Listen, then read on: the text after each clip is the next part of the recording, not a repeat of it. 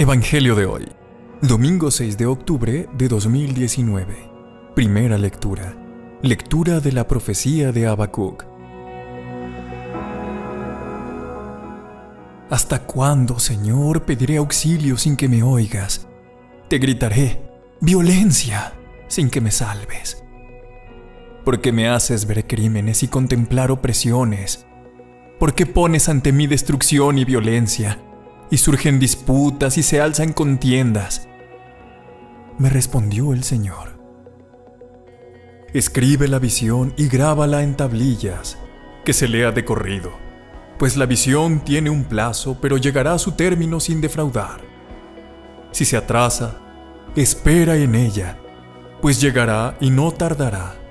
Mira, el altanero no triunfará, pero el justo por su fe vivirá. Palabra de Dios. Te alabamos, Señor. Salmo responsorial. Ojalá escuchéis hoy la voz del Señor. No endurezcáis vuestro corazón. Venid, aclamemos al Señor. Demos vítores a la roca que nos salva. Entremos a su presencia dándole gracias aclamándolo con cantos. Ojalá escuchéis hoy la voz del Señor, no endurezcáis vuestro corazón.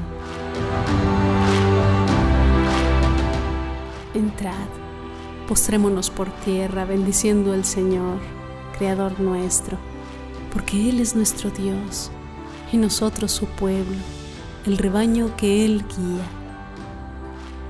Ojalá escuchéis hoy la voz del Señor, no endurezcáis vuestro corazón. Ojalá escuchéis hoy su voz, no endurezcáis el corazón como en Meribá, como el día de Masá en el desierto, cuando vuestros padres me pusieron a prueba y me tentaron, aunque habían visto mis obras. Ojalá escuchéis hoy la voz del Señor no endurezcáis vuestro corazón. Segunda lectura. Lectura de la segunda carta del apóstol San Pablo a Timoteo. Querido hermano, te recuerdo que reavives el don de Dios que hay en ti por la imposición de mis manos. Pues Dios no nos ha dado un espíritu de cobardía, sino de fortaleza, de amor y de templanza. Así pues, no te avergüences del testimonio de nuestro Señor, ni de mí, su prisionero. Antes bien, toma parte en los padecimientos por el Evangelio, según la fuerza de Dios. Ten por modelo las palabras sanas que has oído de mí en la fe y el amor que tienen su fundamento en Cristo Jesús. Vela por el precioso depósito con la ayuda del Espíritu Santo que habita en nosotros. Palabra de Dios. Te alabamos, Señor. Lectura del Santo Evangelio según San Lucas. En aquel tiempo, los apóstoles le dijeron al Señor, Aumentanos la fe. El Señor dijo, Si tuvierais fe como un granito de mostaza, diríais a esa morera, Arráncate de raíz y plántate en el mar, y os obedecería. ¿Quién de vosotros, si tiene un criado labrando o pastoreando, le dice cuando vuelve del campo, Enseguida, ven y ponte a la mesa? ¿No le diréis más bien, prepárame de cenar? Cíñete y sírveme mientras como y bebo. ¿Y después comerás y beberás tú? ¿Acaso tenéis que estar agradecidos al criado porque ha hecho lo mandado? Lo mismo vosotros. Cuando hayáis hecho todo lo que se os ha mandado, decid, somos siervos inútiles. Hemos hecho lo que teníamos que hacer. Palabra del Señor. Gloria a ti, Señor Jesús. Amado Padre, nos unimos a los apóstoles y hoy oraremos una y otra vez. Aumenta nuestra fe. Querida y amada comunidad de este tu espacio, oraciones en video. Hoy escuchamos con la misma apertura la respuesta alentadora de Jesús al mirar la calidad de nuestra fe. Es suficiente que nuestra fe sea tan pequeñita como una semilla de mostaza. Jesús nos llama la atención a la grandeza escondida en algo pequeño. Nosotros también somos pequeños, pero Dios les da a los pequeños poder para hacer grandes cosas, a aquellos que realmente lo siguen. Dios puede trabajar a través de nosotros, más allá de todas nuestras esperanzas y sueños, cuando no ponemos obstáculos en su caminar. Él nos llena de amor ilimitado y nos invita a compartir este amor con un mundo necesitado. Pidamos al Señor que nuestra felicidad sea hacer esto, que esa sea nuestra grandeza. Servir en el amor y las oportunidades serán ilimitadas. La reflexión de hoy, amados hermanos, es muy personal. Es hora de echarle un vistazo a nuestra fe. No nos preocupemos por su tamaño. No importa que sea vistosa o adornada. Lo que Jesús quiere es que esté viva y activa.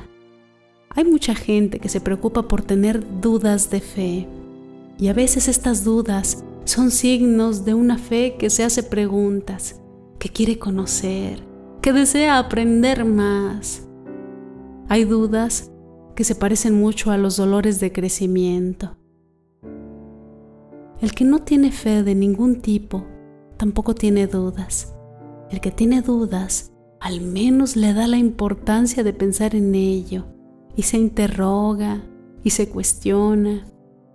Entonces, no nos recriminemos la medida de nuestra fe, si es escasa, si está débil, si la tenemos. Pidamos que nos aumente la cuenta en el banco de la fe, que nos aumente la vida y la salud. Hoy sabemos por el Evangelio que pocos oran, Señor, aumenta nuestra fe. Y Jesús nos dice que el justo por la fe vivirá. Tenemos que meditar en la palabra, tenemos que escudriñarla, tenemos que saber escuchar su voz, tenemos que reunirnos, escuchar su palabra o en silencio o en nuestro celular cuando vamos al trabajo, a la escuela, de caminata. Él siempre nos va a hablar individualmente sin embargo, también le habla a su pueblo. Solamente así podremos fortalecerla, aumentarla. Solamente así podremos movernos en un mundo sobrenatural. Solamente así podremos tener una fe atrevida. Esa fe que crece en Dios, la que puede hacer cosas imposibles. Amados hermanos, es mejor tener una fe aumentada que tener cosas materiales aumentadas. Las cosas materiales pasan, pero el que tiene fe se sostiene aunque la higuera no florezca. La fe no solo una actividad en la mente, que vaya que es necesaria, pero también es una decisión de vivir de una determinada manera. Dediquémosle tiempo a hacerla crecer Démosle la importancia necesaria, porque Jesús nos lo pide. Pensemos en esos grandes mensajes que cada día nos deja y entonces podremos tomar grandes decisiones en nuestra vida. Considerémonos uno de esos que le pidieron a Cristo que aumente nuestra fe, que aumente la esperanza, que aunque dicen que a veces es lo último que se pierde, en estos tiempos que vivimos hace mucha falta amor y caridad, y no tanto esforzarnos por pedirla. A veces parece imposible conseguirla. Tenemos que repetir una y otra vez ser bondadosos para que no se nos olvide, para que sea un estilo de vida. Dios los bendiga.